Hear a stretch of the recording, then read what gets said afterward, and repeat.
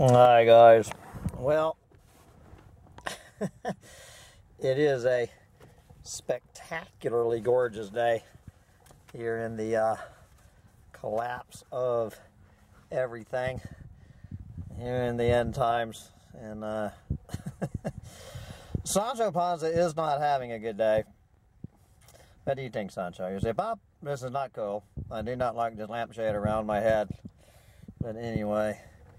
I have had a very good birthday present actually here on Friday, September 22nd, 2023. I am uh, hit 64 turns of the cosmic screw. Speaking of cosmic screw, this is what we just pulled out of this dog. You want to see something disgusting. So what this is, I had no idea we had things like this in New York. This is, uh, well, I call them bot flies. When, uh,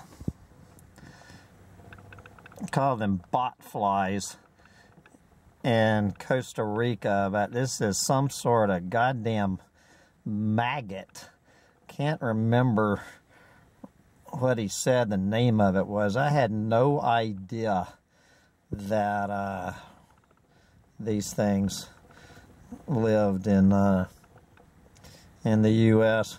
So this is the disgusting thing that we pulled out of Sancho's belly. This thing is still alive. See it squirming. Totally disgusting. Anyway, so Sancho Panza and I, we are both on antibiotics now. Me for my ears, him for his wound in his stomach. Uh, yes, little dog. He a pup I'm not happy about the thing like that. Oh, well. It was a fine birthday present. $75. Took 10 minutes, $75. Get up there and uh, keep the bot flies out of you while you still can. I'm off to figure out what to do with the rest of this spectacularly gorgeous day. They are uh, putting down the dog next to me. Oh man old farewell to Bruno.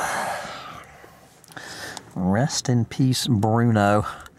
Sancho's got a few more miles left in him, lampshade and all.